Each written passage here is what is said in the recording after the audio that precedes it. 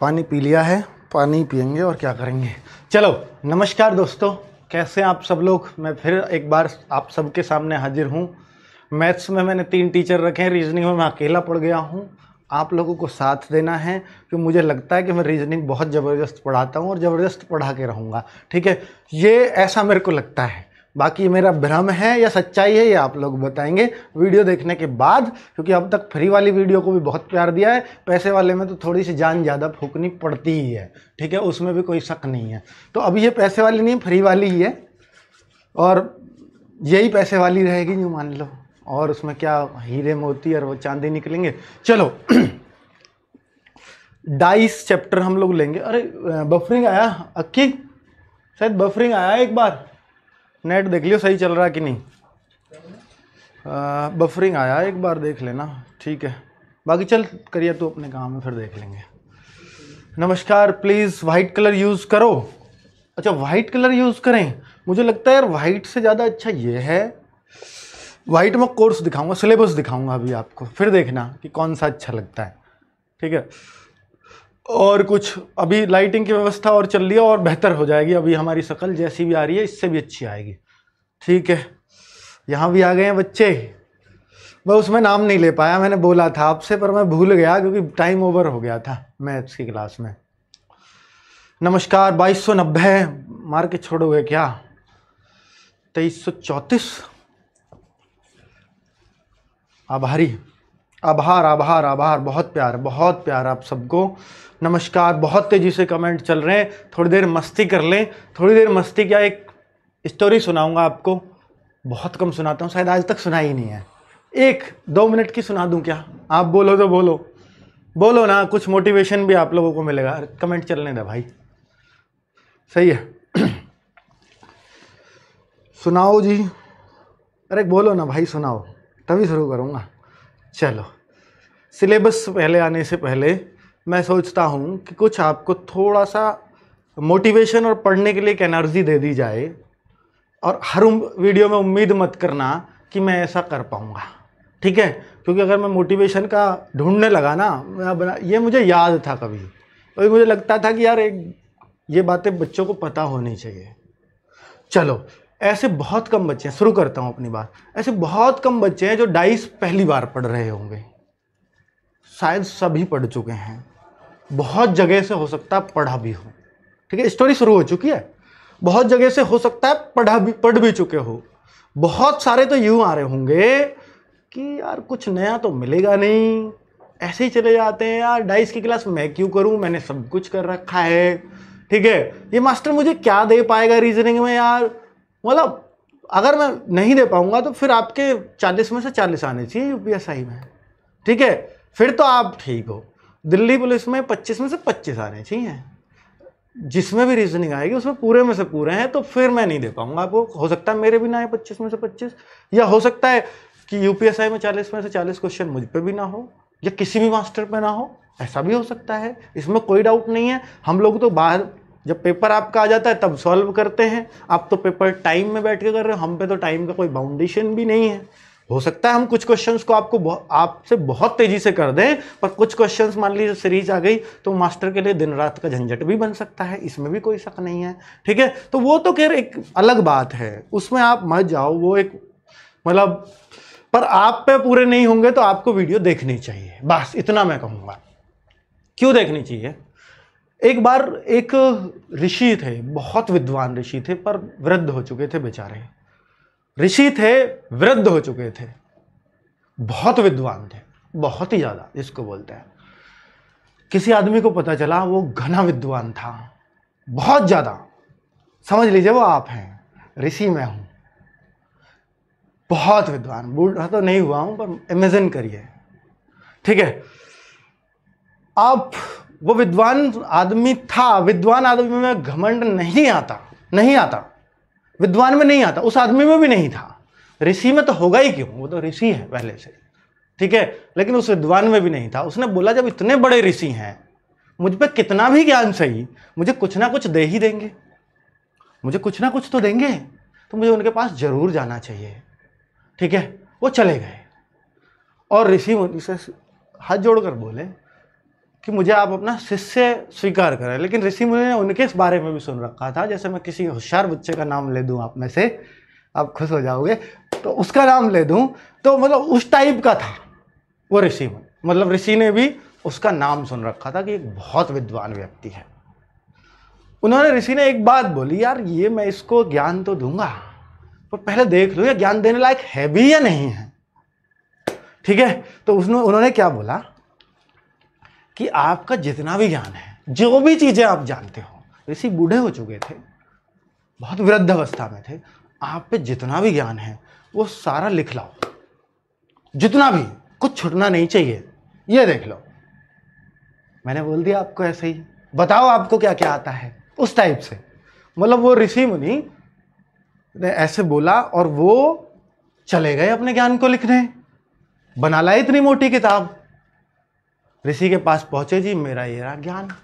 लीजिए, बहुत संभाल के लिखा। दो, चार छः साल में वो ज्ञान की किताब भरी उन्होंने। बहुत कुछ सोच के, बहुत ज्ञान का भंडार था उस व्यक्ति में। बहुत मोटी किताब लिख डाली। लिख तो डाली। अब ऋषि मुनि बोले, यार, एक बात सोचो, मैं इतना वृद्ध आदमी, तुम दो साल पहले मुझसे मिलने आए थे, मैं पहले ही वृद्ध था, और भी मैं वृद्ध हो चुका हूँ, और मैं बिल्कुल खाट में लेटा हुआ हूँ। और मैं इस किताब को पढ़ पाऊँगा, ऐसी उम्मीद कर रहे हो आप? अरे कुछ मतलब इसको कुछ तो कम करके लाओ, मेरी हालत तो देखो मेरे भाई, पढ़ने लायक नहीं हूँ मैं। उन्होंने बोला तो ठीक है गुरुजी, मैं कुछ कम कर लाता हूँ, मेन मेन बातें छाट लाता हूँ। तो वो फिर से आए, फिर से दो महीने ले गए कि भाई क्या छोड़ूँ, क्या लिखूँ, मुझे तो ये सारी बातें फिर भी इम्पोर्टेंट लिखा और फिर एक पतली सी किताब बना लाई इतनी। ऋषि और वृद्ध हो चुके थे, बिल्कुल, आप समझिए, आँखों से भी दिखना बंद सा हो गया था। तो मतलब वो किताब ले गए, बोले, ऋषि मुनि बोले कि आप ये किताब ले आए। मैं तो इसको पढ़ने लायक भी नहीं हूँ अब। मैं इसको भी नहीं पढ़ पाऊँगा। वो कहे, अब तो बड़ा मुश्किल है गुरु जी आप क्यों इसको और छोटा करके लाओ? ऋषि ने बोला, कि इसको और छोटा करके लाओ। वो और गए। फिर बोला, यार, मैं क्या लिखूं? वो कहे, फिर भी मेरे गुरु जी मुझे ज्ञान तो लेना है। अगर गुरु की बात गुरु माने तो मैं उनकी बात मानूँगा। और वो एक पेज पे लिख लाए पूरा ज्ञान अपना। और गुरु जी के पास जाके बोले, गुरुजी के पास जाके बोले, गुरुजी, अब तो मैंने एक पेज में लिख लिया है। बहुत टाइम मेरे को लगा, पंद्रह दिन और बीत गए इस पूरी किताब को एक पेज पे उतारने में। मतलब एक पेज में लाने में क्या लिखूं? ठीक है? अब तो मैं हेडिंग हेडिंग लिख लाया हूँ बस। तो गुरुजी बोले कि अब तो मुझे कानों से सुनना भी बंद हो गया है, मैं तो ये भी नहीं सुन पाऊँगा। अभी और छोटा करना पड़ेगा, और कम करो। तो फिर उन्होंने बोला, गुरुजी, एक पेज और था वाइट पेपर, ये हूँ मैं, भर दो। मुझे नहीं है कुछ भी ज्ञान, मैं हूँ एक कोरा कागज़। ऋषि ने बोला कि आज आप मेरे ज्ञान के लायक हुए हो। लेकिन अब मैं आपको ज्ञान नहीं दे पाऊँगा, क्योंकि मेरा चलने का समय हो गया है। तो दोस्तों, बस यही मैं आपसे कहना चाह रहा हूँ कि आप किसी भी टीचर को अगर श्रद्धेय मान के पढ़ते हो तो आप ये छोड़ दो, आप एक उसके सामने कोरे कागज़ हो, अगर आपने गुरु माना है, या तो मानो ही मत, या अपने आप को सीधा पेपर में बैठा लो, किताबी ज्ञान लो, ठीक है, चले जाओ। ठीक है, अगर किसी को माना है तो फिर आपको ये तो करना ही पड़ेगा कि आप उसके सामने कोरे कागज़ हैं। ठीक है? और आपको एक एक चीज़ फिर उसकी सिखाई हुई सीखनी होगी। ठीक है? बस आपको गुरु चुनने में देर नहीं करनी चाहिए। गुरु जो आपने चुना है, वो बेस्ट होना चाहिए। उसके चुनाव में थोड़ा सा टाइम लगा लो, पर अगर एक बार चुन लिया तो फिर सब कुछ उस पर छोड़ दो। ठीक है? और मैं यही कहता हूँ आपसे कि सब कुछ मुझ पे छोड़ दो, सब कुछ मैं आपका करवा दूँगा। एग्ज़ाम दे के निकलोगे, उस दिन भी आपसे बात करूँगा। बिल्कुल ऐसे ही कि क्या मैंने करवाया क्या आपको मिला? शायद ही ऐसे कोई आपसे बात करे लाइव आके बात करूँगा आपसे। गाली दोगे तो गाली भी एक्सेप्ट है, क्योंकि मैंने गलती की आपको पढ़ाने में। ठीक है? और बड़ाई करोगे तो वो भी। तारीफ़ के काबिल होंगे फिर हम। चलो, ठीक है, बहुत बातें हो गई। अब मैं आपको सिखाता हूँ, आज का पहले दिखाता हूँ रीजनिंग का सिलेबस कैसा लगा आपको मेरा ये मोटिवेशन का हो, या आपको कहीं एक छोटा सा ज्ञान इस टाइप का दिया है? क्योंकि आप अपने आप को थोड़ा तीस मार्क का ना समझो। ठीक है? चलिए रीजनिंग सिलेबस रीजनिंग सिलेबस जानना बहुत ज़रूरी है कि रीजनिंग सिलेबस क्या है? तो हम वो सीखते हैं जरा। आजा भैया। कर, अरे कहाँ गया? आएगा आएगा आएगा। भैया ठीक, ये राज़ी। आ गया। वाइट वाले आ जाओ भैया। वाइट वाले में दिखाऊँगा कैसा चमक रहा। देखना अब। हाँ सही से चमक रहा है, ठीक है। लिखवाया तो मैंने, बढ़िया बेचारा सजा के। बहुत मेहनत की एक बच्चे बच्चे ने लिखने में। दोस्तों रीजनिंग में पहले भी करा रहा था, यही सब चीज़ें थी और अब भी वही चीज़ें हैं। अब भी वही चीज़ें हैं, ठीक है। आप क्या वहाँ से आगे नहीं कराओगे? क्या शुरू से कराओगे? मैं शुरू से कराऊँगा, लेकिन उन चैप्टर्स को कराऊँगा जो वहाँ छोड़ दिए थे पहले, ठीक है? अगर किसी को वो पूरा ही करना है तो उनका पूरा भी हो जाएगा, फिर पढ़ना बंद कर दीजिए जिन्होंने वो पढ़ रखा है। लेकिन अब मैं वर्कशीट भी दूँगा ना साथ में पीडीएफ भी दूँगा ना, अब तो कुछ छुपा ही नहीं सकता आपसे पैसे भी तो लेंगे। पैसे का शर्मा चलो ठीक है। अब देखो चैप्टर वन डाइस आज चलेगा। इसके बाद घड़ी शुरू करेंगे कैलेंडर शुरू करेंगे घन घनाभ भी पढ़ाएँगे, सांकेतिक भाषा परीक्षण और पीछे ले जाऊँगा, क्योंकि मैं पढ़ा चुका हूँ। ठीक है, मैं उन चैप्टर्स को, ये नहीं है कि मैं इसी क्रम में पढ़ाऊँगा, उन चैप्टर्स को पहले ले लूँगा जो आपसे नहीं करवाए हैं। ठीक है, कोई दिक्कत नहीं है। मैं यहाँ था, मैंने इसके बाद कोई बात नहीं, मैं शुरुआत से शुरू कर रहा हूँ, कोई नहीं। ये सब चीज़ें आएँगी। अब जब शुरू से है तो हर चीज़ शुरू से होनी चाहिए। तो आकृति ऐसे लिखी जाती है रहेगी इनके पर कोई बात नहीं। ऐसा आप माफ़ कर दो तो टाइपिस्ट ऐसी छोटी मोटी गलतियाँ कर देते हैं। तो ये सब कुछ आपको सब कुछ देखने को मिलेगा, पढ़ने को मिलेगा। Non verbal verbal non verbal दो पार्ट में रीजनिंग होती है। वर्बल मतलब भाषिक रीजनिंग नॉन वर्बल मतलब चित्र वाली रीजनिंग तो ये सारी चीज़ें हम लोग करेंगे। देखिए नॉन वर्बल में भी बहुत सारे चैप्टर्स हैं। पाँच छः सात, आठ, नौ, दस। डिसीज़न का कुछ बच्चे बोलते हैं कि डिसीज़न मेकिंग वाले क्वेश्चन आते हैं, इसमें यूपीएसआई में रीजनिंग में, वो मैं करवा दूँगा। ठीक उसकी टेंशन आपको नहीं लेनी है। आपके एग्ज़ाम से पहले सब कुछ ना हो जाए, आपके कोर्स में जो भी कुछ आता है, आपके क्वेश्चंस के साथ, जो भी प्रीवियस ईयर आया, उन सबको मैं करवा दूँगा। ठीक है? आगे बात करूँ ये आकृति पूरी करना कंप्लीट करना, कागज़, ये तो सब में आता है भाई, सब में आता है। एसएससी भी 25 की रीजनिंग है तो दिल्ली पुलिस में कम से कम पाँच फिगर देगी, कम से कम पाँच फिगर हम भी मॉक टेस्ट बनाएँगे और देंगे आपको वीकली दें या दस दिन में दें या पाँच दिन में दें, वो देख लेंगे, ठीक है? वो भी देंगे और यूपीएसआई का भी बहुत जल्दी मॉक टेस्ट आएगा और आप देखेंगे कि क्या दमदार मॉक टेस्ट और ऐसा ही पेपर आपको मिलेगा और बहुत जल्दी आपको ऐप पर मिल जाएगा और तब बताना कि आपको कितना हो पा रहा है स्कोर और अगर आप उसमें 300 के आसपास भी हैं तो आप आज भी लग जाओगे यूपी एस में, मैं बता रहा हूँ। अगर 300 के आसपास ले आए 400 में से। ठीक है? चलिए, दिल्ली में अगर अस्सी क्रॉस कर दिया आपने, जो मैं मॉक टेस्ट दूँगा तो आप आज ही लगने लायक हो। ठीक है? नहीं तो कोरा कागज़ समझ के खुद को स्टोरी की तरफ़ पढ़ लेना, पढ़ने आ जाना। ठीक है? चलो, और लाइव आना भाई, मज़ा आएगा। ये वीडियो आपको मिलेंगी रिकॉर्डेड फॉर्म में मिलेंगी, कुछ बच्चे पूछ रहे रिकॉर्डेड फॉर्म में मिलेंगी, और डाउनलोड भी आप कर पाओगे, और जहाँ आपका अच्छा नेट है, वहाँ डाउनलोड कर लो, और कहीं भी बैठ के देख लो। और दोस्तों, किसी के भी नोट्स आपको नहीं बनाने नोट्स बनाने लगोगे तो आठ घंटे की पढ़ाई है, ये नहीं कर पाओगे। आप सिर्फ़ समझो नोट्स हम देंगे, बिल्कुल हैंड रिटर्न भी देंगे, और टाइप की कोशिश करेंगे, वो भी आपको प्रोवाइड कराया जाए। ठीक है? चलिए बफरिंग हो रही है, भाई, आपके फ़ोन में हो रही है, हमारा नेट तो बहुत ज़बरदस्त धुआंधार चल रहा। बफरिंग एक ही आदमी लिख रहा है क्या बफरिंग या और भी लिख रहे हैं? चलो। तो देखिए, ये अब ये सारी समान गुणों की आकृतियाँ पहचानना क्या होता है? सारी चीज़ें आपको फिगर्स के साथ दिखाऊँगा। आकृतियों का तार्किक क्रम। मेरे लिए ये नॉन वर्बल पढ़ाना है ना? मेरे लिए। मेरे लिए बहुत बड़ा काम नहीं है नॉन वर्बल पढ़ाना। मैं चाहूँ तो इसको आपको दस दिन में ख़त्म करके दे सकता हूँ और ऐसा कर दूँगा जिसे जैसा किसी ने ना किया हो। पर मैं चाहता हूँ इसको कि मैं आपको लास्ट में पढ़ाऊं।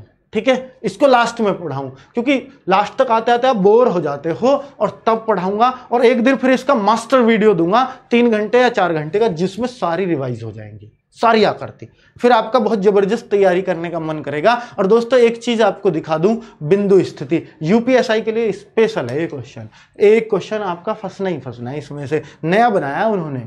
ठीक है? ऐसे मान लेना। आकृतियों का घूर्णन रूट रोटेशन ये तो कहीं भी पूछा जाता है। ठीक है? तो आप समझ सकते हैं, जेल वार्डर वाले बच्चों या दिल्ली पुलिस वाले, सबसे पहले तो यही एग्ज़ाम है। इन सबको ध्यान में रखते हुए नवंबर लास्ट में ही दोनों एग्ज़ाम है। यूपीएस सॉरी जेल वार्डर भी और दिल्ली पुलिस भी। आपको ध्यान में रखते हुए आपको तीन महीने से पहले कोर्स खत्म करके दूँगा। रिविजन की ज़रूरत इसलिए नहीं पड़ेगी। जब भी रिविजन की ज़रूरत फील हो वीडियो मत देखना। प्रैक्टिस सीट जो आपको दूँगा, वो पीडीएफ कर लेना दोबारा, वीडियो का रिवीजन उसी से हो जाएगा। ठीक है? आपका टाइम बर्बाद बिल्कुल नहीं करेंगे। क्या इसमें भी पाँच हज़ार पहुँचा हुआ क्या आप मुझे मत पहुंचाओ यार, ज़्यादा प्रेशर आ जाता है। थोड़े कम ही रहने दो। हर टीचर खुश होता है, ज़्यादा बच्चे आते हैं तो पर मुझे थोड़ा सा दबाव फील होने लगता है, ज़्यादा बच्चे आने से कि मैं इतने बच्चों की आकांक्षाओं पर खरा उतर सकता हूँ क्या? जितना उम्मीद आप लोग मुझसे कर रहे हैं। ठीक है? चलो। तो रीजनिंग सिलेबस डिस्कस हो गया। एक एक चीज़ डिस्कस हो गई। आज जितनी भी क्लास चलेंगी, सब में सिलेबस ही डिस्कस करवाने को बोला है मैंने, हर सर से, हर चीज़ से। आज का टीचर आपको जीएस में बेस्ट से बेस्ट मिलने वाले हैं। एक एक क्लास में आप पंजों पे ना खड़े हो जाओ ना, मज़ा ना खड़ा हो जाए ना, बता देना, कमरे में कैद कर लो, सारा टाइम हमें दे दो, हमारी ज़िम्मेदारी है रिवीजन कैसे कराएँगे टेस्ट कब लेंगे, कौन सा लेंगे, भर्ती करानी ज़िम्मेदारी लेके आए हैं। भर्ती कराने नहीं रिटर्न ही क्लियर कराने नहीं। यूपीएसआई का भी बहुत आसान है फ़िज़िकल जेल वार्डर का भी बहुत आसान है, लेखपाल में होता ही नहीं है। और बात करूँ दिल्ली पुलिस कांस्टेबल की हेड कांस्टेबल की भी आसान है। कांस्टेबल के लिए फ़िज़िकल के लिए भी बैच बनाऊँगा। आप सोच लेना, समझ लेना कि भाई, मैं आपके लिए ये नहीं है कि बस रिटर्न करा दिया, हमारी ज़िम्मेदारी खत्म, नहीं। मैं आपको वहाँ भी टिप्स दूँगा। फिर फ़िज़िकल के पीछे लग जाऊँगा कि दो महीने के अंदर फ़िज़िकल हो जाएगा। आपसे साथ में भी कह रहा हूँ, पाँच बजे के बाद कोई क्लास नहीं होगी। वो सिर्फ़ और सिर्फ़ आप एक घंटा, दो घंटा अपनी रनिंग के लिए, अपनी सेहत के लिए निकालिए। लॉन्ग जंप और रनिंग के लिए। ये निकाल लो। यूपीएसआई वाली लड़कियाँ करें रनिंग थोड़ा सा। ठीक है? नहीं तो फिर आपको मुश्किल हो जाए क्योंकि यूपीएसआई का जो फ़िज़िकल है ना रनिंग है, वो शायद दस, बीस दिन के अंदर अंदर कराने की कोशिश रहेगी उनकी रिटर्न के। ठीक है? तो ये थोड़ा सा देख लो। चलो, आगे बात कर लूँ क्या?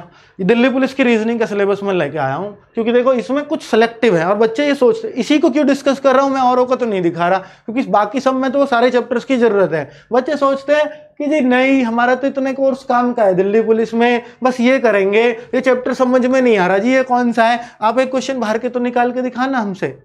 इन्हीं चैप्टर्स को, इन्हीं चैप्टर्स को जिस भी क्रम में पढ़ाऊं उस क्रम में पढ़ लेना। कोरा कागज़ मान लो आप 25 में से 25 आपको पढ़ाए हुए ना मिल जाए तो बता देना। आप ना करके आओ, वो तो एक अलग बात है। ठीक है? तो वो तो सब बेकार है। रनिंग कर लो, थोड़ा सा कर लो पीयू कौशिक थोड़ा सा, क्योंकि ऐसा नहीं है कि भाई आप कहो मैंने दो बार उसका नाम ले लिया, मैं आपका भी ले लेता हूँ। आशीष, विकास कपूर, संदीप शर्मा, और भी लोग, लड़कियों का लेता हूँ, थोड़ा मोटिवेशन मिलेगा। चलो, अभी लड़की आई नहीं रही कोई। चलो, कोई बात नहीं। ठीक है भाई, ठीक है ठीक है ठीक है। तो ये रीजनिंग का सिलेबस भाई आपको समझ में नहीं आएगा।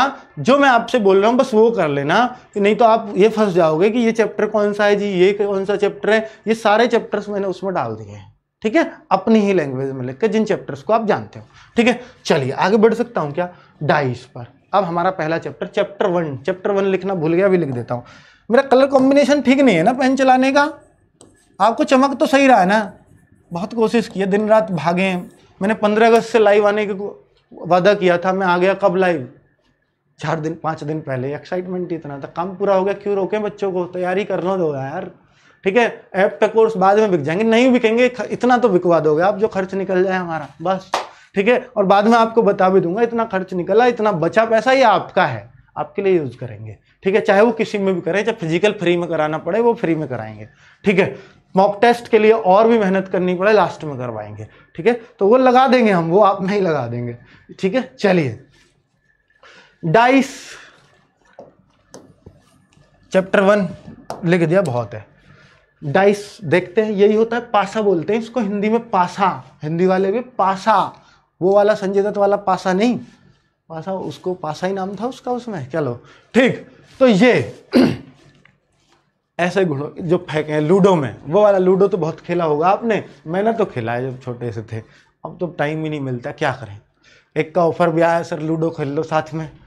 मैंने कहा कि, चलो यार, क्या लूडो खेलना चलो, ठीक है।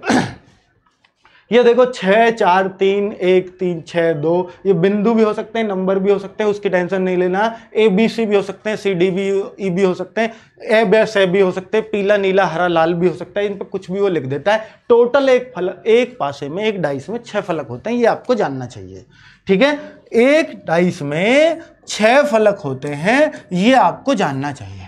ठीक है? एक डाइस में अगर आपसे कोई पूछे कि आपको इसमें, देखिए, फलक तो इसको बोलते हैं। ये सतह जो होती है, सतह सतह सरफेस ठीक है? अगर आपसे कोई पूछे, इसमें कोने कितने होते हैं? कोने। ये कोने हैं। ये कोने हैं। अगर आपसे ऐसा भी कोई पूछ सकता है, क्या? पूछो ना कितने कोने होते हैं। ये भी है, ये भी है। उधर भी कोना होगा कोना होगा, कोना, कोने। कितने कोने कोई नहीं बताएगा, ये बात रीजनिंग में नहीं बताएगा आपको। मैंसुरेशन थ्री डी में बताएगा। तो कोने कितने होते हैं? अगर मैं आपसे बोलूँ तो आठ कोने। गिन रहे ना? ये दिख रहे कितने हैं आपको?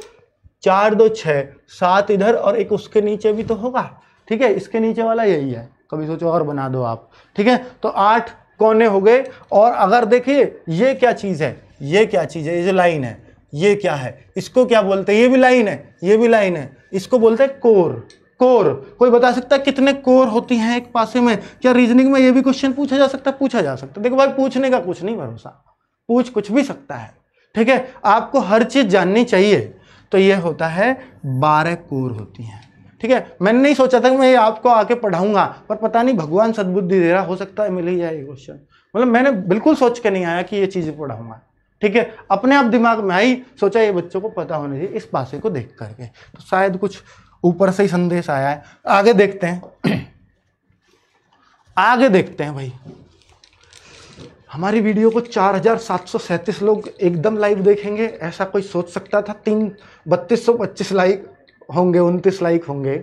ऐसा भी नहीं सोच सकता था क्योंकि उतने तो लाइक करेंगे, जितने देख रहे होंगे। ऐसा सोचता हूँ मैं, ठीक है? पर चलो, आप भी हमारे बच्चे को लाइक करना भूल जाते हो तो आपकी गलती माफ़, हमारी भी माफ़ कर देख रहे हो एक आध। चलो। अब देखना कि डाइस मैं आपको बनाना सिखाता हूँ। बनाना। क्या है ज़रूरी है बनाना? हाँ मैं डाइस को आपको तीन पार्ट्स में, देखिए, एक होता है ओपन डाइस अगर मैं बोलूँ, एक होता है सिंपल डाइस ओपन डाइस और सिंपल डाइस ठीक है? इन दोनों में क्या फ़र्क है? कुछ खास फ़र्क नहीं है। इन दोनों को मैं आपको ये खोल के रख देता है इसका हर फलक, क्योंकि हम देखते हैं तो हमें तीन दिखते हैं। ओपन डाइस में वो छः के छः खोल के रख देगा। उसको हम अलग पढ़ेंगे, ठीक है? आज मैं सिंपल वाले डाइस में कितने तरह के क्वेश्चन हो सकते हैं और फिर एग्ज़ाम में आए हुए क्वेश्चन पीडीएफ के साथ अभी कराऊँगा। ठीक है? पहले मैं आपको इसका बेसिक बता देता हूँ, फिर क्वेश्चंस की भरमार करेंगे, वही पीडीएफ आपको उस पर मिल जाएगी आपको ऐप पर। क्या ऐप अभी भी डाउनलोड कर सकते हैं? हाँ कर सकते हो भैया। कर सकते हो। आज जो कमेंट की स्क्रीन ऐसे लगा दी, सामने। और बिल्कुल ऐसे लग रहा होगा आपको, हमारी ओर देख रहे हैं और पता नहीं कैसे कमेंट कर अप्लाई कर रहे हैं। यही तो कला है अपनी। चलो। मतलब पैसा लगा, पैसा। स्टूडियो में। पर कोई बात नहीं, तुम दे ही दोगे। चलो, अब डाइस की बात करता हूँ फ़र्स्ट टाइप की। फ़र्स्ट टाइप की। फ़र्स्ट टाइप की। अगर मैं डाइस की बात करूँ तो ये क्या होगी? दोस्तों, देखना जरा। ओपन डाइस बाद में बताऊँगा। एक मानक पासा होता है, तीसरी टाइप होती है, मानक पासा। मैं उसको, इसके बाद ही बता दूँगा। मानक पासा बहुत आसान चीज़ है, बताने की ज़रूरत नहीं है। ठीक है? पर चलो, कोई बात नहीं। अभी मैं लिख देता हूँ इसके अंदर वाइट कलर से।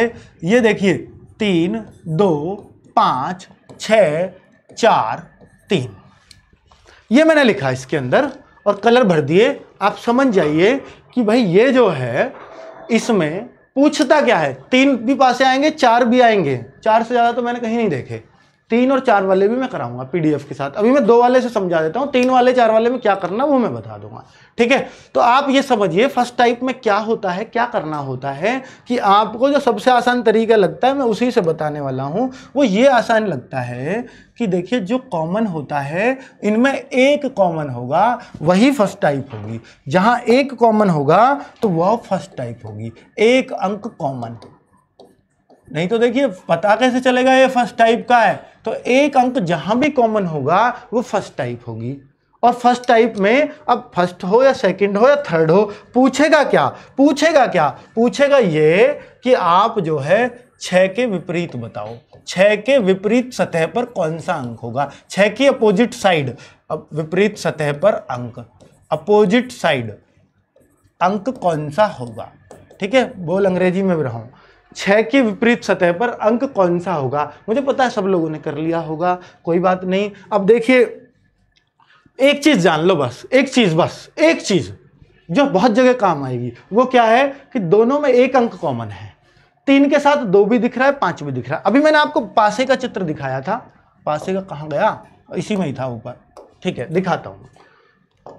देखिए, जो चीज़ यहाँ रहेगी, जो चीज़ यहाँ रहेगी वो कभी इसके साथ दिख सकती है जो इसके अपोजिट में है। मान लो छह के नीचे पाँच है तो पाँच ना तो इस पर कभी दिखाई देगा, ना इस पर क्योंकि एक टाइम में एक पासे की तीन स्थिति दिख सकती है। आपको तीन फलक, कैसे भी रख लो, टेढ़ा, तिरछा, आड़ा, देखो, यहाँ भी देखो। ठीक है? कैसा भी पासा रख लो, आपको एक तरफ़ से तीन ही साइड दिख सकती है। आप न्यू घूम जाओ, ऐसे लंबे हो जाओ पासे पे, फिर तो चार भी दिख सकती हैं, लेकिन एक साइड से तीन ही सतह दिख सकती है, किसी भी छह सतह वाली चीज़ की। ठीक है? तो अब आप देखो कि भाई इसमें जो होता है कि छह के साथ जो भी अंक दिखाई देगा, वो कभी भी अपोजिट नहीं होगा। मतलब छह के अपोजिट कभी तीन तो हो ही नहीं सकता, क्योंकि तीन इस साइड आ गया है। छह के अपोजिट चार भी नहीं हो सकता, क्योंकि चार इस साइड आ गया है। बस मैं इतनी सी बात कहना चाह रहा हूँ आपसे, ये बात समझ में आ गई कि नहीं? तो तीन के अपोजिट तीन दोनों मारा, ये एक ही पासा है। एक पासे को एक बार फेंका तो हमें ये अंक दिखाई दिए। फिर दोबारा फेंका, ये एक पासे की दो स्थितियाँ दिखाई गई हैं। ऐसे बोलता है कि नहीं एग्ज़ाम में? एक पासे की दो स्थितियाँ दिखाई गई हैं, एक पासे की तीन स्थितियाँ दिखाई गई हैं, एक पासे की चार स्थितियाँ। मतलब एक पासे को बार बार फेंका जा रहा है। एक बार ये दिखा, एक बार फिर फेंका, फिर ये दिखा, फिर फेंका, फिर ये दिखा। वो तो कुछ भी आता है ना? चलिए तो उसी तरीके से मैं कहना चाह रहा हूँ कि ये जो कॉमन अंक होता है, इसके साथ दो भी दिख गया, पाँच भी दिख गया। जो इसके अपोजिट में अंक है, यहाँ पे वो वहाँ चला गया होगा तो तब भी नहीं दिखेगा। तो अपोजिट साइड तो दो कभी एक साथ दिख ही नहीं सकती। तो आपको तीन यहाँ भी दिख रहा है, तीन यहाँ भी दिख रहा है। तो इसका मतलब तीन के अपोजिट में ना तो दो होगा, ना पाँच होगा, तीन के अपोजिट में ना छह होगा, ना चार होगा। तो फिर एक ही अंक बच गया, एक से छह तक के अंक है ये। इस पर जो लिखे गए हैं, लिखता हूँ पर एक से छह तक के अंक लिखे गए हैं, मैंने नहीं लिखा। ठीक है क्वेश्चन दिखाऊँगा कैसे लिखाता है। पूरा क्वेश्चन भी दिखाऊँगा। तो तीन के अपोजिट अंक, वो अंक होगा, वो अंक होगा जो यहाँ पर नहीं आया है। ये बात जान लो बस। तीन के अपोजिट कॉमन वाले के अपोजिट वो अंक होगा जो यहाँ पर नहीं दिखाई दे रहा है। तो वो कौन सा अंक है? एक। ठीक है, तीन के अपोजिट एक। लेकिन मेरा सवाल ये नहीं है, मेरा सवाल ये है, क्या आप ऐसे छह के अपोजिट भी बता सकते हो? तीन भी नहीं हो सकता, चार भी नहीं हो सकता छह के अपोजिट पर यहाँ तो छह है ही नहीं। तो हम यही कह सकते हैं, बस अगर इस टाइप से मैं करना चाहूँ कि भाई तीन छह के अपोजिट ना तो तीन हो सकता, ना चार। देखिए, कितने अच्छे कॉन्सेप्ट पे लेके आऊँगा आपको। इस कॉन्सेप्ट से जो अभी बताई है, बिछा दोगे सवालों को। भाई, तीन के विपरीत एक क्यों है? क्योंकि वो उसके साथ नहीं दिखाई दे रहा। और जो नहीं दिखा, वो समझ जाओ, वो अपोजिट हो सकता है। ठीक है, चलिए। तो तीन की, छह के विपरीत ना तो तीन है, ना चार है। नहीं है ना? नहीं है ना? तो फिर छह के अपोजिट क्या हो सकता है? पाँच भी हो सकता है और दो भी हो सकता है। उत्तर या तो पाँच आएगा या दो आएगा। लेकिन हम इस टाइप से क्लियर नहीं कर पाए। इस टाइप से हम सिर्फ़ कॉमन वाले का ही क्लियर कर सकते हैं। क्योंकि हमने वहाँ चार निकाल दिए। पांचवा वो खुद है, छठा एक बचता है। लेकिन यहाँ दो बचते हैं। जब दो बचते हैं तो हम ऐसे सॉल्व नहीं कर पाते। फिर हमें इसका एक जुगाड़ ढूंढना पड़ता है, एक ट्रिक बनानी पड़ती है। और वो ट्रिक क्या है? मैं आपको बता देता हूँ। मैं आपको बता देता हूँ, आप सबको पता है, पर फिर भी मैं अपनी भाषा में, अपनी जबान में आपको बता देता हूँ कि जो भी कॉमन अंक है, जैसे तीन है तो तीन को क्लॉकवाइज लिखो या एंटी क्लॉकवाइज लिखो। तीन के बाद कॉमन अंक पहले लिखना है, बस याद रखना कॉमन अंक पहले लिखना है। टाइप वन सिखा रहा हूँ, सबसे इंपॉर्टेंट टाइप वन ही है। तीन का करोगे, चार का करोगे टाइप वन ही है, सबसे इंपॉर्टेंट टाइप टू और टाइप थ्री तो कुछ है ही नहीं, ठीक है? तो टाइप वन समझ लो। टाइप वन समझ लो जरा। ये साधारण पासे की बता रहा हूँ ओपन डाइस मानक पासा अभी नहीं शुरू करा है, सिर्फ़ और सिर्फ़ साधारण पासा बता रहा हूँ अभी। तो आप देखना जरा कि भाई, ये जो तीन है, तीन से शुरुआत कर दूँ, और मैं उल्टा ही क्यों चलूँ? मुझे तो सीधा चलने की आदत है। घड़ी की साइड को चलने की आदत है तो घड़ी तो ऐसे चलेगी तो तीन के बाद पाँच लिखना चाहिए, पाँच के बाद दो लिखना चाहिए, फिर तो तीन ही आ जाएगा। तो कुल मिला के तीनों को हमने क्लॉकवाइज लिख लिया, और यहाँ भी तीन है। यहाँ भी तीन है तो फिर से क्लॉकवाइज शुरुआत हमेशा कॉमन से करेंगे, इसमें भी और इसमें भी। तीन, पाँच, दो, तीन, छह, चार। किसी को उल्टा ही चलने की आदत है? होती है ना? किसी को हमेशा उल्टा ही चलूँगा जी मैं, कह लो कितना ही। कोरा कागज़ कोई बनना ही नहीं चाहता तो कोई बात नहीं है भैया। फिर आप ना उल्टा चल लो, बस इतना कर लेना, अगर इसमें उल्टे हुए हो तो इसमें सीधे मत हो जाना, इसमें भी उल्टे ही रहना। ठीक है? और उल्टे सीधे बना दिए ना तुमने तो पेपर वाला आपको उल्टा सीधा करके ले लेगा आपकी। चलो, कोई बात नहीं। तीन तीन के बाद घड़ी, फिर चलो छ और छ के बाद दो, चार। ठीक है? तीन छ चार। क्लियर है भाई? क्लियर है भाई? ठीक है जी। बिल्कुल ठीक है जी, बिल्कुल ठीक है, बिल्कुल ठीक है। तो चार के अपोजिट दो, पाँच के अपोजिट छह, ये अपोजिट आ रहे हैं, और तीन के अपोजिट वो वाला अंक होगा जो यहाँ आया ही नहीं है। तीन के तीन, क्योंकि तीन तो दो जगह होगा नहीं, किसी भी डाइस पर। तो तीन के अपोजिट एक, पाँच के छह, दो के चार, आप समझ जाइएगा, आपका काम खत्म। ठीक है, आपको किसका चाहिए? छः का चाहिए? बस टीप के लिख दो, पाँच आ गया जी। आपका उत्तर है, जो मेरे ऑफलाइन वाले बच्चे हैं, हाथ खड़ा करके बता दो, आप देख रहे हो कि नहीं देख रहे हो? हाथ तो और भी खड़े कर रहे हैं ये तो। सालू रानी, नहीं, आप तो नहीं हो ऑफलाइन के। चलो अरे बता दो, ऐसे हाथ खड़ा कर लो लाइक ऐसे दबा दो, तुम हाथ खड़े वाली पिक मिलेगी नहीं इसमें। ठीक है, तुम ऐसे बता दो, बस ऐसे लाइक यहाँ तो दबाओ, वहाँ भी दबा दो। ठीक तो वह ऑफलाइन वाले बच्चे, ठीक है भाई, बहुत बढ़िया। हाँ जी, अरे वाह ऑफलाइन वाले ढेर आ गए तो। नाम लेना चाहता था आपका, पर क्या करूँ कमेंट बहुत तेज़ी से भागने लगे। ऑफलाइन वाले बच्चे वीरान भटक रहे थे।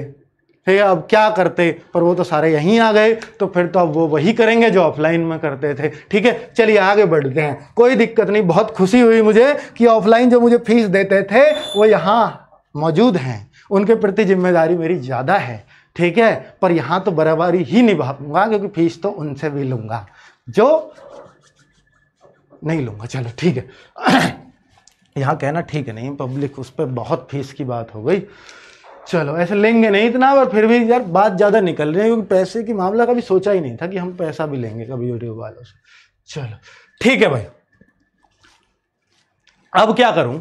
अब मुझे एक टाइप समझ में आ गई। अगर मैं आपको इस टाइप का एक और पासा बना के दे दूँ, क्या मुझे सेकंड में उत्तर दोगे? पाँच सेकंड में बस। एक फ़र्स्ट टाइप का है कि नहीं पहले तो ये देखना। क्या मुझे आप दोगे? एक सेकंड में उत्तर दोगे क्या इस सवाल का? एक सेकंड में। चार, तीन, दो, पाँच, चार, छ।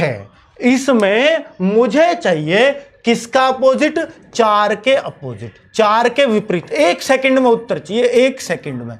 चार के विपरीत, चार के अपोजिट कौन सा है? एक सेकंड में उत्तर।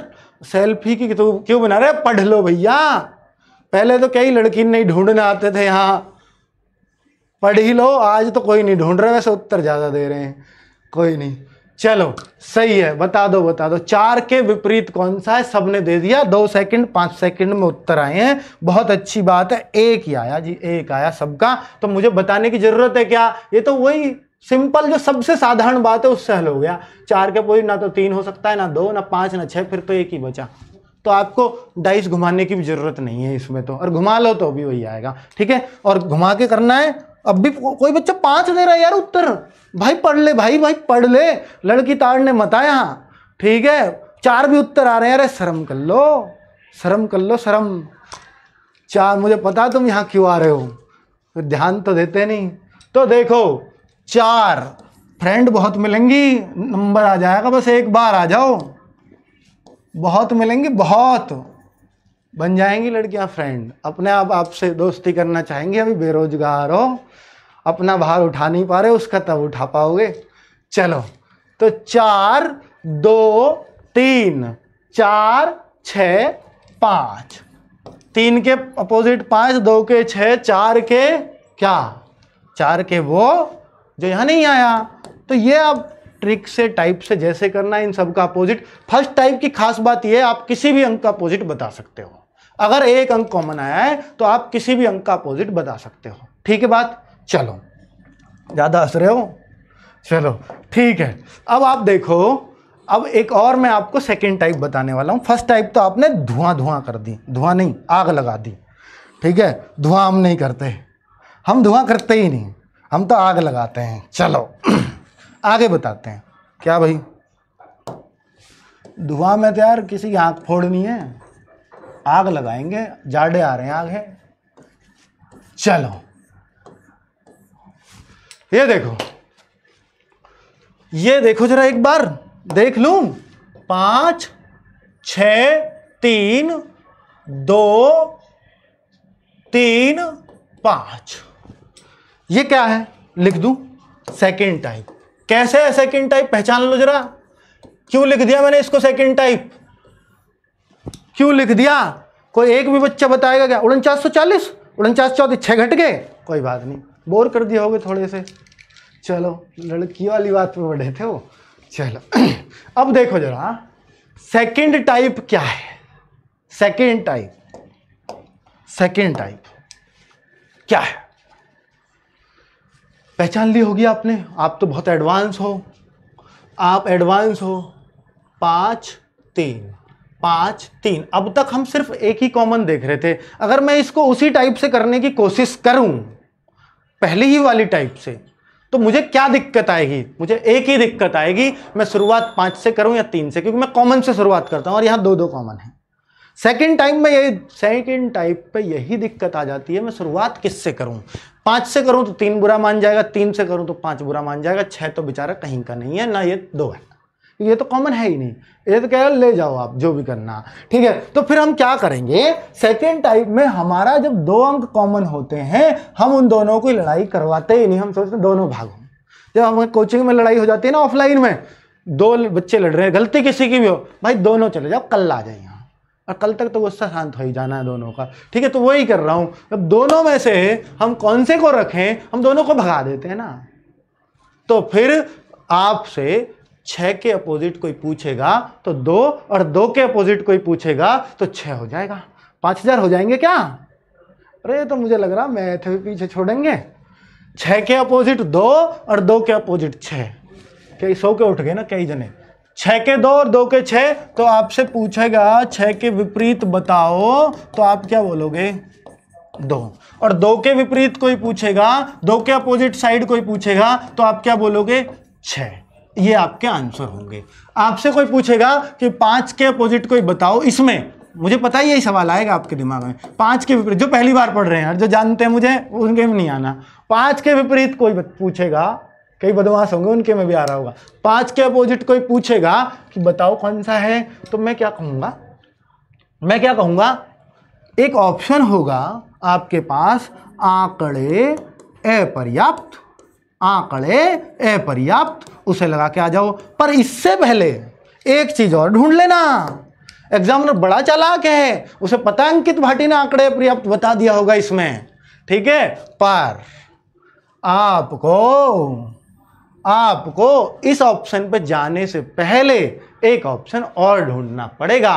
पाँच के अपोजिट ये सच बात है, हम किसी एक अंक को नहीं बता सकते। लेकिन जो मैंने सबसे साधारण बात बताई थी, सबसे काम की बात है वो यहाँ पर। पाँच के अपोजिट ना तो तीन हो सकता है, ना छह हो सकता। है जो पाँच के साथ दिख रहा है, वो हो ही नहीं सकता। पाँच के अपोजिट ये भी वही पासा है। ना तो तीन हो सकता, तीन तो हमने पहले ही काट दिया, दो भी नहीं हो सकता। पाँच के अपोजिट फिर बचा क्या? या तो एक होगा या तो एक होगा, या क्या हो सकता है? कौन सा बच गया भैया? चार। तो अगर किसी में ये भी ऑप्शन दे रखा है, ए ऑप्शन और इसको ऊपर लिखेगा, मुझे पता है तो वो फिर एक या चार या स्लैश लगा के लिख दे। तो आपका उत्तर इन दोनों में से कौन सा सही होगा? ये वाला। क्या कुछ समझे? एक या चार। अगर आप समझ पाए तो मैं कहूँगा सेकंड टाइप में इससे ज़्यादा कुछ नहीं पूछता। पूछता उसी को ही है जो बचा है। ठीक है? पर ये आपकी सेफ्टी के लिए है कि आप वो पाँच का पूछे या तीन के पूछे। अगर तीन के पूछे तो कौन कौन से होंगे? ना तो पाँच होगा, ना दो होगा, ना छह होगा। तो बचेगा क्या? एक और चार, एक या चार। अरे, इन दोनों के ही तो विपरीत है, पाँच के और तीन के ही तो विपरीत है। इनमें से कौन सा एक का विपरीत है, कौन सा चार किसके विपरीत है, वो हम कंफ्यूज में है और वो कंफ्यूजन ही रहेगा, क्योंकि सेकेंड टाइप क्लियर करती ही नहीं है। फ़र्स्ट टाइप ही ऐसी है जो हर अंक का विपरीत बता पाएगी। ठीक है? सेकंड टाइप क्लियर क्लियर तो ये करो ये करो ये करो। क्या भाई, हम इस क्लास यार लेट नहीं करने। अब आगे, नहीं लेट इससे तो कर सके यार। नौ बजे कोई क्लास थोड़ी आज? दस बजे है। इसमें तो मज़ा आ रहा पढ़ाने में। पाँच हज़ार तिरसठ हो गए, इक्यावन हो गए। लड़की वाली बात करनी पड़ेगी। चलो, ठीक है। लड़कियाँ आजकल कमेंट कम कर रही हैं हमें। देख लेते हैं भाई। दिल्ली पुलिस में लड़कियाँ कम जाना चाहती हैं। ज्योति रावत आई है एक लड़की, और भी आई हैं, कोमल। ये तो पढ़ ही नहीं जा रहे। पीयू कौशिक तो कई बार ले लिया नाम। चलो, और बताओ और बताओ। काजल मावी चलो, सालू, ठीक। आ रही हैं लड़की। लड़कों के नहीं लूँगा। वो तो मुझे पता, उन्हें आना ही पड़ेगा। उन्हें आना ही पड़ेगा। ऑफलाइन वाले ही आ जाएँगे इतने तो। चलो, ठीक है। अनुराग भाई, आप बहुत मतलब चैनल को आपका तो लेना पड़ेगा। आपने हर वीडियो को सपोर्ट किया है हमारी। चलो, बहुत बढ़िया भाई। कुछ लोग तो ऐसे हैं जो दिल से जुड़े हुए हैं। ये सभी दिल से जुड़े हैं यार, लगातार पाँच हज़ार से ऊपर चल रहे हो और दिल आज जीतना था आपका और लास्ट तक जीतेंगे, तीन महीने जीतते ही रहेंगे, हर रोज़ नया जीतेंगे, हर रोज़ नया करेंगे, कुछ ना कुछ ऐसा करके जाएँगे कि भाई अब नंबर तो कोई रोक ही नहीं पाएगा। बीच में आप सोच रहे हो जी, आप टाइम बर्बाद करते कुछ बच्चे ऐसा हो सकता है, कहते हों, लेकिन ये पढ़ाई के साथ ये चीज़ें ज़रूरी हैं, नहीं तो दिमाग फट जाएगा आपका। अगर आपको बीच में कुछ ऐसी बात ना बोली जाए तो फिर आप इतना लोड ले जाओगे, इतना डिप्रेशन में आ जाओगे, फिर आप नहीं पढ़ाई कर पाओगे। और नहीं कर पाओगे तो डिप्रेशन आएगा, तनाव होगा, और तनाव होगा तो नींद गायब होगी, बीमार पड़ोगे और कुछ नहीं कर पाओगे। ना फ़िज़िकल आपसे होगा, ना रिटर्न आपसे होगा। ठीक है? तो आप बीच में थोड़े से हसगुल्ले से चलने रहे हो। ठीक है? कभी कहो जी बंद करो अपनी इन बातों को। चलो, ठीक।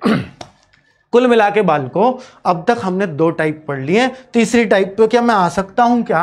तीसरी टाइप पे परमिशन दे सकते हो क्या? चलो दोगे, नहीं दोगे जब भी आऊँगा। ये मांग नहीं पड़ती है बस, ठीक है?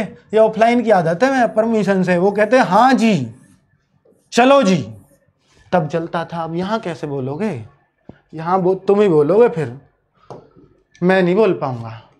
चलो भाई तो अब देखो टाइप थ्री की बात बोलूँ टाइप थ्री की मेरी आप सबसे रिक्वेस्ट है। आप कमेंट करो, हमें अच्छा लगता है, पर जब काम की बात चल रही हो, उसको उतने ही ध्यान से सुनना, सिर्फ़ कमेंट में मत रह जाना, क्योंकि कई बार ऐसी कोई बात मुँह से निकलती है, जो पेपर में सीधी पूछ ली जाती है। ठीक है? और आप कहोगे ये बात हमने सुनी थी या नहीं सुनी थी? क्योंकि आप उस टाइम पर कमेंट लिख रहे थे।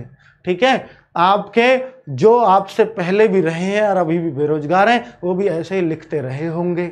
इसलिए वो नहीं लग पाए, ठीक है? तो थोड़ा सा उस बात पे ध्यान दे लेना।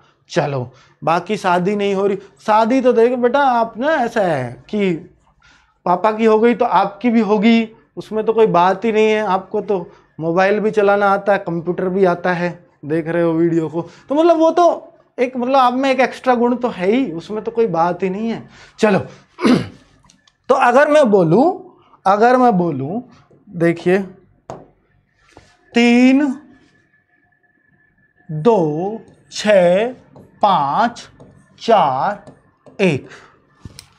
पाँच, चार, एक।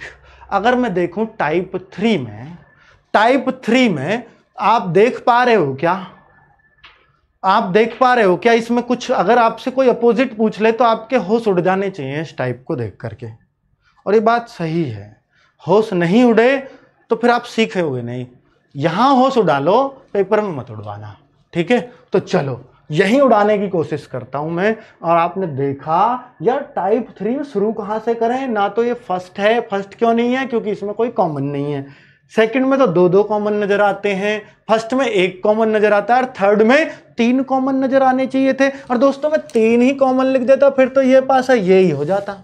तो तीन कॉमन तो हो नहीं सकते। हुए तो फिर वही पासे घूम के आ गए। फिर तो वही पासा ही लिखा जाएगा ऐसा ही। ठीक है? तो भाई ऐसा तो हो ही नहीं सकता था। तो इसलिए फिर पहली टाइप एक कॉमन फेंका, दोबारा फेंका तो एक चीज़ एक सी आई ये फ़र्स्ट टाइप हो गई।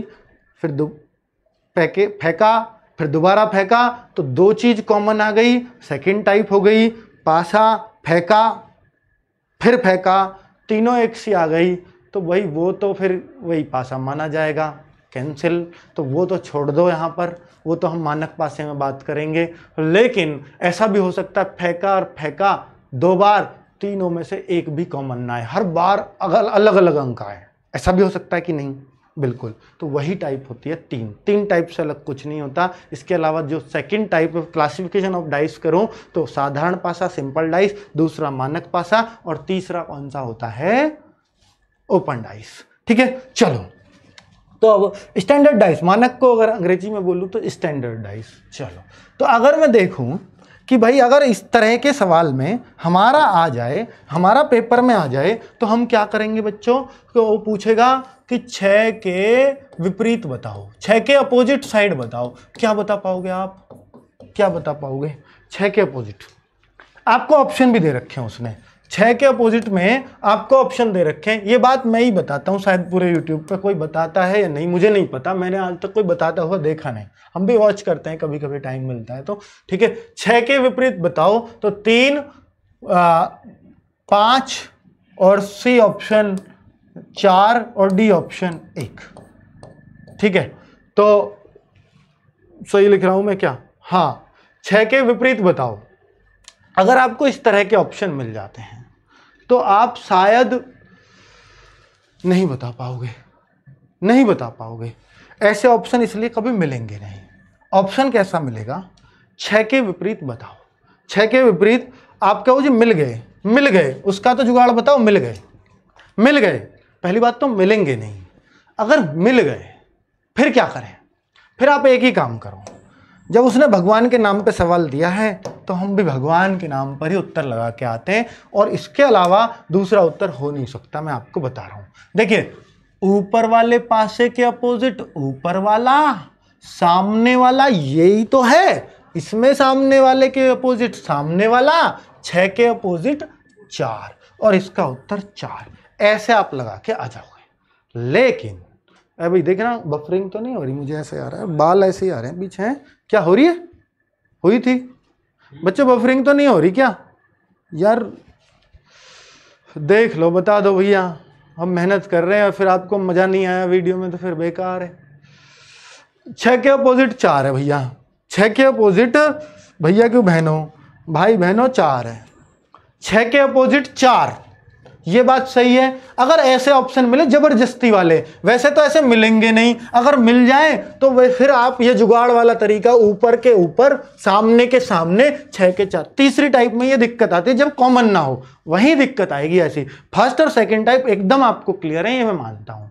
लेकिन, आपको ऑप्शन जो मिलेंगे, वो सबसे ज़्यादा क्या मिलेंगे? छह के अपोजिट छह के अपोजिट आपको देगा पाँच, आपको देगा एक आपको देगा चार, आपको देगा एक और ऑप्शन पाँच, एक, चार। फिर आप क्या लगाओगे? फिर आपको क्या लगा देना चाहिए? फिर आपको क्या लगा देना चाहिए? तो भाई, छह के अपोजिट फिर आप चार मत लगा के आ जाना। चार तो जुगाड़ है, जब कुछ नहीं मिल रहा हो। जब भी ऐसा मिले तो आपको यह निश्चित हुआ है, बस टाइप थ्री से कि छह के अपोजिट पूछा है, ना तो तीन हो सकता है, ना दो हो सकता है, फिर बचा क्या? एक भी बच गया। क्या बच गया और?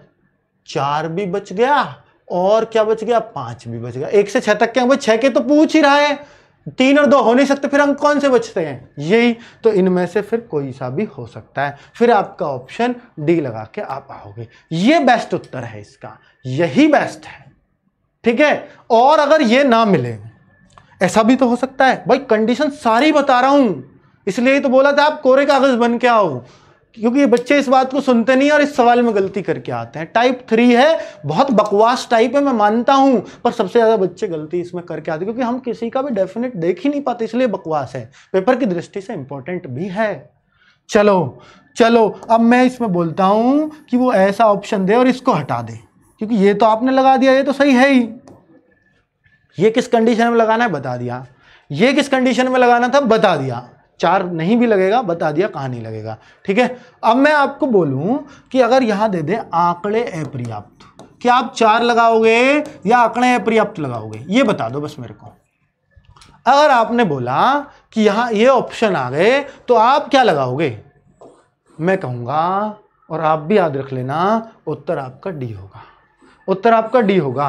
भाई, नौ तो बज गए, क्लास नौ से ज़्यादा कभी नहीं होगी आज के बाद। मतलब नौ से बड़ी नहीं लेके जाएँगे। आज बड़ी हो रही है, क्योंकि पहली क्लास है और नौ से हमारी कोई क्लास भी नहीं है। बस ख़त्म होने वाले हैं तीनों टाइप बस मैं आपको क्वेश्चन दिखाने वाला हूँ, तीन और चार वाले। तो दोस्तों, तीनों टाइप्स तो मैं आपको समझा चुका हूँ बहुत अच्छे से। बहुत ही अच्छे से उम्मीद करता हूँ, यहाँ से कोई क्वेश्चन आएगा। पवन मॉरल वाला डायलॉग उम्मीद करता हूँ। वही वाला तो उम्मीद करता हूँ, यहाँ से कोई क्वेश्चन आएगा तो आप पेपर में कभी गलत नहीं करोगे। नहीं करोगे ना? चलो, तीनों टाइप क्लियर हैं। अगर दो दो पास आए, अगर तीन आ जाए तो क्या करें? चार आ जाए तो क्या करें? वो सिंपल डाइस की टाइप है। अभी सिंपल ही पढ़ा रहा हूँ। माना कर ओपन डाइस कल खत्म कर दूँगा। दो दिन में पासा चलेगा यार, दो दिन तो चलने दो कम से कम। ठीक है, अब मैं आपको दिखाता हूँ जादू। जादू दिखाता हूँ, आपने सीखा क्या? आपने सीखा क्या? बस आप पहली टाइप को याद रहे, दूसरी याद है, दो कॉमन तीसरी में कोई भी कॉमन ना हो तो कैसे लगाते हैं? चलो। हमारे कौन से में थे भाई? वो syllabus reasoning reasoning and drive इसमें थे। टाइपिंग में तो सिलेबस था यार। ये था हाँ अक्की ने दिए थे भाई करके और डाइस। आ गए? सही जगह? आ गए नहीं अक्के बुला लेता अभी स्क्रीन पे। चलो। बड़ा तगड़ा साथी है उसकी वजह से ही आप वीडियो देख पा रहे हो यहाँ पर। बहुत मेहनत करता है। रात बारह बजे गया है स्टूडियो से और सुबह आ गया है साढ़े पाँच बजे यहाँ पर। पता नहीं किस टाइम सोया होगा किस टाइम उठा होगा। चलो कोई बात नहीं। ठीक है। अगली क्लास कब है भाई? दस बजे है भाई। दस बजे है, मैथ्स की है वो। ठीक है यूपीएसआई के मैथ अगर दिल्ली पुलिस के हैं तो आपको शायद ना भी लेनी पड़े, पर आप एक बार देख सकते हो, उसमें दूसरा चैप्टर शुरू होगा। उनका तरीका अलग है पढ़ाने का। मैं नंबर सिस्टम से पढ़ाता हूँ, वो वर्क एंड टाइम से पढ़ाएँगे। ठीक है, वो पहला चैप्टर वर्क एंड टाइम लेंगे अर्थमेटिक का ही। तो आपको वहाँ भी एक बार देख सकते हो कि आपको मुझसे पढ़ना है या उनसे पढ़ना है, ये ट्राई आप कर सकते हो। 11 बजे, नहीं तो दिल्ली पुलिस वालों के लिए इस क्लास के बाद 11 बजे काम की रहेगी, और वो भी एक दिन। ग्यारह से साढ़े ग्यारह, एक दिन कंप्यूटर मिलेगा एक दिन मूल विधि। एक दिन यूपीएसआई के काम की रहेगी वो क्लास एक दिन दिल्ली पुलिस की मूल विधि की क्लास दिल्ली पुलिस वालों को नहीं लेनी और कंप्यूटर की क्लास एसआई वाले ले भी सकते हैं, क्योंकि एक क्वेश्चन हंड्रेड परसेंट जीके में पूछा जाता है और वो उसी क्लास से फंसेगा। वो आपकी मर्ज़ी, आप लेना चाहो या नहीं, एक क्वेश्चन के लिए आप आधा घंटा बर्बाद करना चाहोगे या नहीं, वो यूपीएसआई वाले। पर इतना ज़रूर है हंड्रेड परसेंट फंस जाएगा क्लास से। ठीक है? एक ही क्वेश्चन आएगा आपका यूपीएसआई वालों चलिए, बाकी एनटीपीसी वगैरह वाले बच्चे कंप्यूटर की क्लास लें, वहाँ अच्छे ठीक से कंप्यूटर पूछा जाता है। उसके बाद दोस्तों, बारह से एक हिस्ट्री की क्लास है। एक से दो हमारी क्लास है पॉलिटी की और दो से तीन है ज्योग्राफी की और दो से तीन नहीं है मतलब वो चालीस चालीस मिनट के बीच में ब्रेक भी है, बीस बीस मिनट का। आपको वॉशरूम जाना है, आपको पानी पीना है, वो कर सकते हो। देखिए, अब हमारी जो फिर का रिवीजन का कब टाइम होगा, हम नोट्स कब पढ़ेंगे? दोस्तों, पाँच बजे के बाद हमने आपको खाली छोड़ दिया, चार से पाँच क्लास होगी। सात बजे यूपीएसआई वाले आ सकते हैं, हिंदी की आज नहीं होगी, कल होगी। ठीक है? तो हम कल से हिंदी भी शुरू करने वाले हैं यूपीएसआई वालों के लिए। तो अब जो शाम में अपना टाइम यूज़ करें, वो कैसे करें? एक बार जो नोट्स आए उन्हें देख लें कि जो जो आज की क्लास के फटाफट हमें याद है या नहीं है, क्योंकि आपने क्लास तो ली है। और क्विज आएँगी क्विज दस दस क्वेश्चन है सब में। आप टेस्ट दो, आपकी रैंक क्या चल रही है? आज की क्लास का ही क्विज है, मान लीजिए। ठीक है? मैथ रीजनिंग में तो क्विज आएगी नहीं वर्कशीट आएगी। थोड़ा सा वर्क कर लो तो भाई शाम में आपका दो घंटे पढ़ने का टाइम निकाल लेना। क्लासेस से अलग दो घंटे काफ़ी हैं। आठ घंटे मेरे साथ पढ़ लो, दो घंटे में वो सारा काम कर सकते हो जो हम करवाएँगे, ठीक है? जो हम करवाएँगे। मतलब वो सारा ही रिवाइज कर लो। बुक पढ़ने की ज़रूरत है क्या? ज़रूरत तो नहीं है। ज़रूरत तो नहीं छोड़ेंगे, क्योंकि हम भी तो बुक सही दे रहे हैं, ठीक है? और आपसे ज़्यादा बढ़िया बुक हमारे पास होगी, इतना तो आप भरोसा कर सकते हैं, क्योंकि हमें सही गलत की पहचान है, शायद आपको ना हो, ठीक है? तो वो सब हम कर देंगे। चलिए तो मतलब बहुत मेहनत का सोचा है वैसे तो पता नहीं हो पाएगा या नहीं और आप साथ देते रहे तो हमें एक जोश आता रहेगा कि हम मेहनत कर पाएँगे। दोस्तों, ये सवाल दिख रहा है आपको। पहला ही सवाल है, तीन पासों वाला मैं लेके आया हूँ। क्या व्हाइट पे आपको सही दिख रहा है? एक बार बता दो ना कमेंट करके, मैं रेड ले लेता हूँ पेन रेड बढ़िया चलेगा। देखिए, नीचे घन की तीन स्थितियाँ, घन, पासा, कुछ भी डाइस अंग्रेज़ी में बोल देता हूँ, ये डाइस है, इसकी थ्री कंडीशंस दिखाई गई हैं। अक्षर एन के विपरीत फलक पर कौन सा अंक होगा, कौन सा अक्षर होगा? दोस्तों, ये जितने भी चमक रहे हैं, ये कभी छह से ज़्यादा नहीं हो सकते। कभी सोचो ए से जेड तक की हो जी ए बी सी डी तो। तो आपको मैं दिखा दूँ, ये छह अंक कौन कौन से सबसे पहले ऐसे में यही देख लिया करो। पी है क्यू है, छह से ज़्यादा नहीं मिलेंगे। एन है। ये तीन इसलिए दिखाता है, बच्चों को बताने न पड़े कौन कौन से छह हैं, वो खुद ही छांट लें। छह छाट लो, छह से सातवां मिल जाए तो बिल्कुल आप मेरे यहाँ गोली मार दें, कोई दिक्कत नहीं है। P Q N P Z R सातवां मिलेगा ही नहीं कभी। और नहीं तो फिर एग्जामिनर के मार देना अगर उसने दिया तो। पी जेड आर क्या हो गए छह? नहीं, अभी पाँच हुए हैं। एक और बच गया होगा फिर। वो कौन सा है? एस हो गए क्या सारे? यही छह मिलेंगे। यही छह मिलेंगे। कोई से भी ए बी सी डी नहीं, कभी सोचो ए बी सी डी भी तो होंगे जी कहीं। अरे भैया, यही है बस। ये है one two three four five six ना लिख के इनको P Q N Z R S लिख दिया है, बस। ठीक है? बस।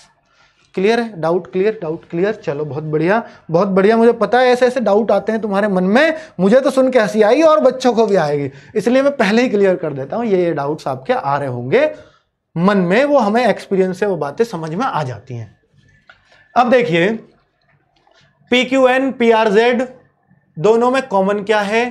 पी आप क्या हो? देखिए, हम इन दोनों से करें हल, इन दोनों से आपको जब भी तीन वाला पासा हो, चार वाला हो छः वाला हो, कितने का भी हो, तीन, चार, बस, इससे ही ज़्यादा मिलते नहीं है। पाँच भी मिल सकते हैं। तो दोस्तों तो फिर आप क्या करोगे? तो आपको एक ही काम करना है। क्या काम करना है?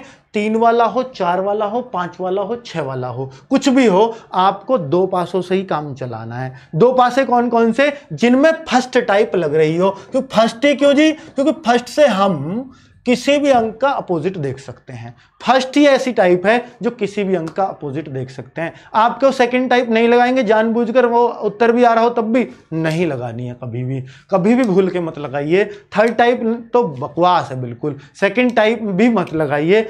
जहाँ भी हो पॉसिबल हो, सिर्फ़ फ़र्स्ट टाइप और ऐसा कोई भी आपको पासा नहीं मिलेगा जहाँ फ़र्स्ट टाइप की नहीं, दो में नहीं लग रही हो। चार का है, तीन का है। दो में हो सकता है फ़र्स्ट टाइप इन दोनों में भी लग रही हो, इन दोनों में भी लग रही हो, इन दोनों में भी लग रही हो। तो आप फिर कोई से भी दोनों से कर सकते हो। फ़र्स्ट टाइप लगी इन दोनों में तो इन दोनों से आप उत्तर ले आओ, इसको बिल्कुल आग लगा दो इसमें। कोई ज़रूरत नहीं, काट के फेंक दो अपनी लाइफ से। ठीक है? और आप कर रहे हो कि फ़र्स्ट टाइप तो इन दोनों में भी लग सकती है जेड कॉमन है बस।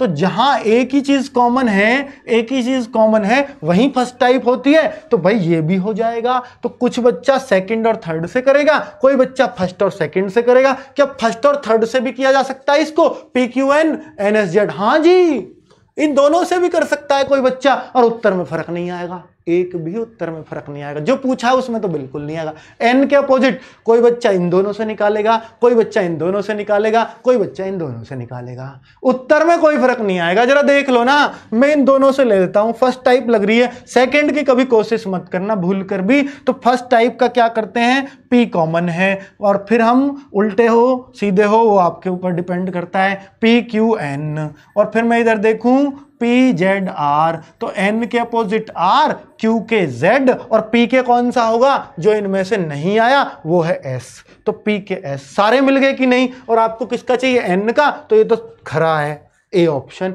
आपका सही हो जाएगा। तो किल मिलाकर के क्लियर हो गई है हमें ये बात। बहुत ही आसानी से। और कोई बच्चा इससे भी करेगा। मैं इससे भी करके दिखा दूँ क्या?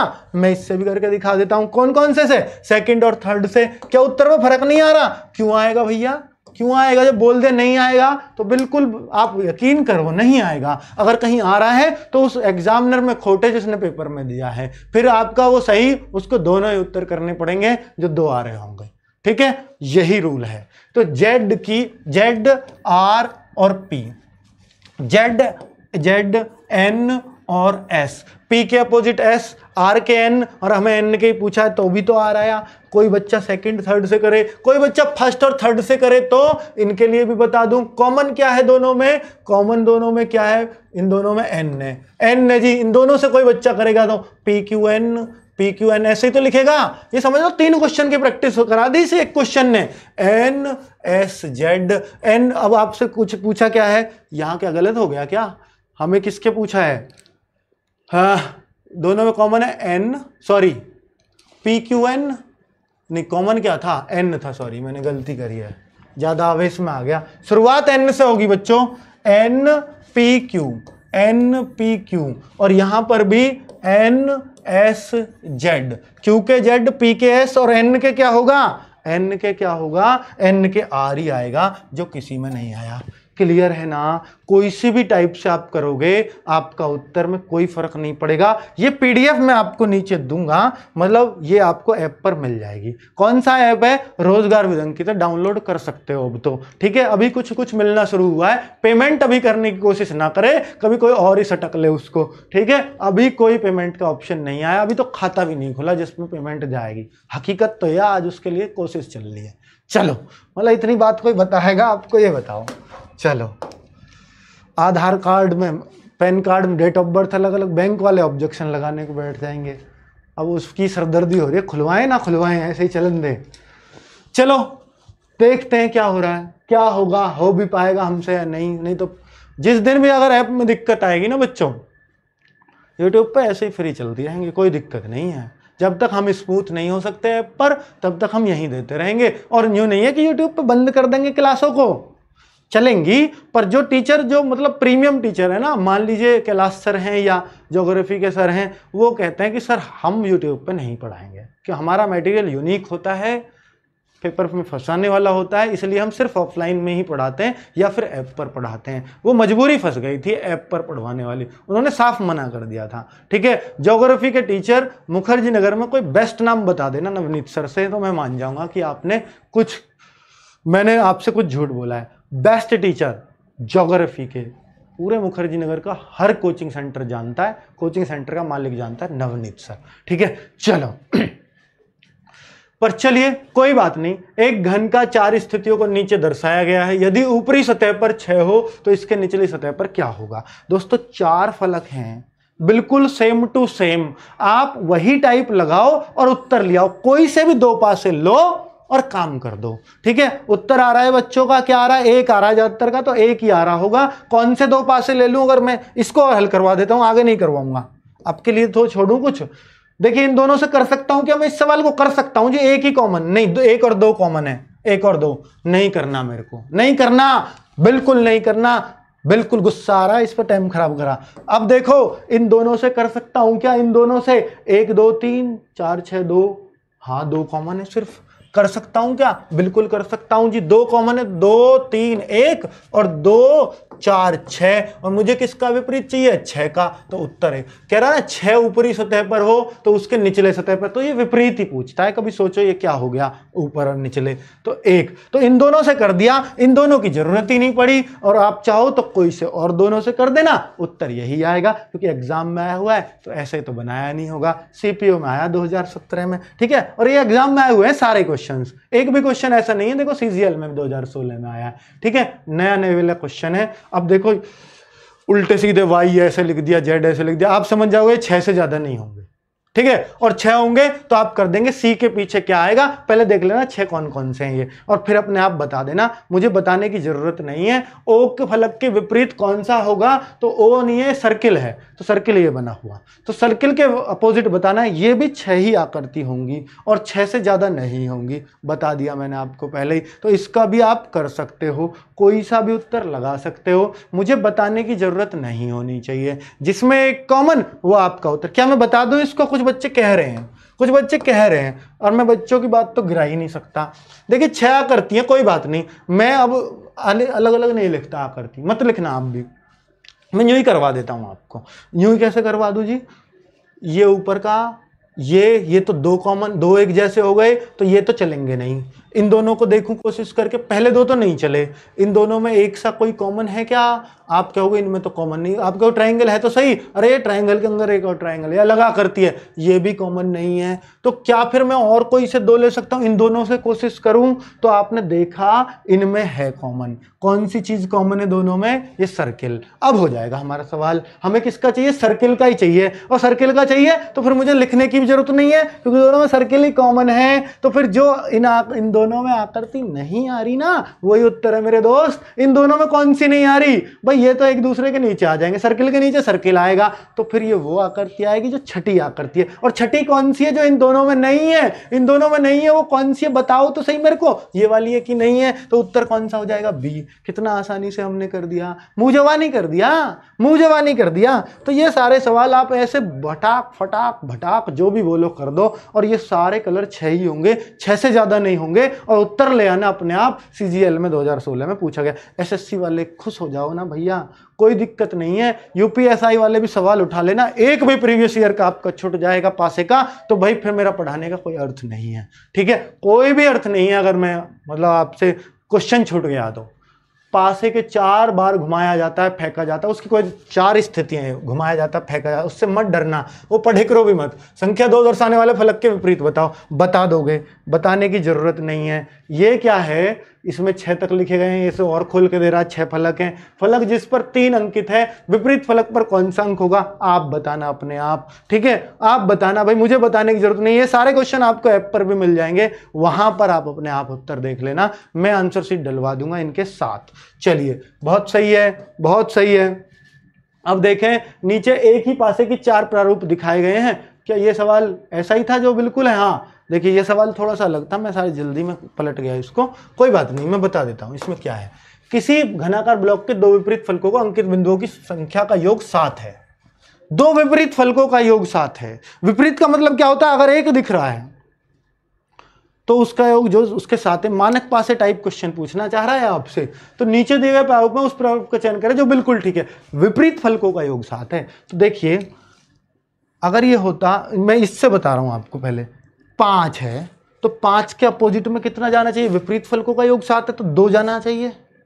और पर दो तो यहाँ आ गया। इसका मतलब ये इस प्रारूप में नहीं है। दो आना ही नहीं चाहिए था, क्योंकि दो तो पाँच के साथ दिखेगा ही नहीं।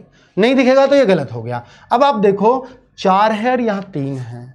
चार है और यहाँ तीन है तो आप समझ जाओ कि भाई ये भी नहीं हो सकता, क्योंकि चार के साथ तीन यहाँ आना चाहिए था और हमें दिखना नहीं चाहिए था। और आप देखें छः और एक तो ये भी गलत है। क्यों गलत है? क्योंकि छः के अपोजिट होना चाहिए, एक वो खुद कह रहा है। इसलिए तो इसका उत्तर सिर्फ़ और सिर्फ़ एक है, ऐसा यहाँ पर कोई भी नहीं आ रहा है। तो एक थोड़ा अलग सा हो गया ना क्वेश्चन आसान है, पर अलग है। ठीक है? अलग वाले का आपको उत्तर चाहिए ही चाहिए। चलो, ठीक है, ये भी सब आप देख सकते हो। ये सारी पीडीएफ आपको मिल जाएगी।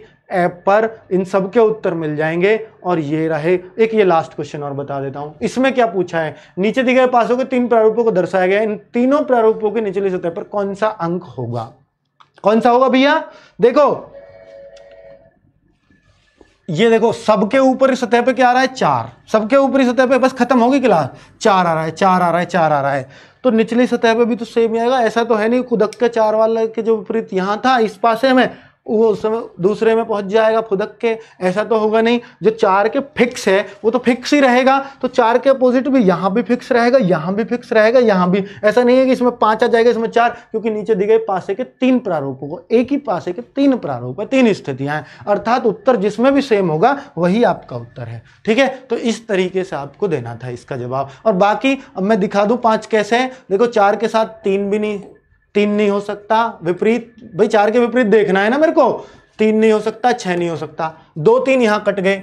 तीन तो पहले ही काट दिया, दो और कट गया, एक भी कट गया, क्योंकि एक यहाँ। तो फिर बचा कौन सा? चार के अपोजिट पाँच, इसमें भी पाँच, इसमें भी पाँच, इसमें भी पाँच। इसलिए आपका उत्तर है। कुल मिलाकर के कैसी लगी क्लास? ये तो ज़रूर बताइएगा। थोड़ी सी हमें मतलब बीच में टॉन्टिंग बाजी थोड़ी पसंद है, पहले से ही, क्योंकि ऑफलाइन का मज़ा देने वाला हूँ तो ऑफलाइन का थोड़ी सी टॉन्टिंग तो चलेगी, ठीक है? उससे मत घबराइए, वो आपके लिए ज़रूरी भी है। मैथ्स और रीजनिंग में आप कभी बोर नहीं होंगे, ऐसी मेरी कोशिश रहेगी। ओके दोस्तों, थोड़ी लंबी क्लास थी, आगे छोटी करेंगे रीजनिंग को, आधे घंटे पैंतीस मिनट हमारे लिए काफ़ी है। ओके, कल की क्लास में पासा खत्म। ओके।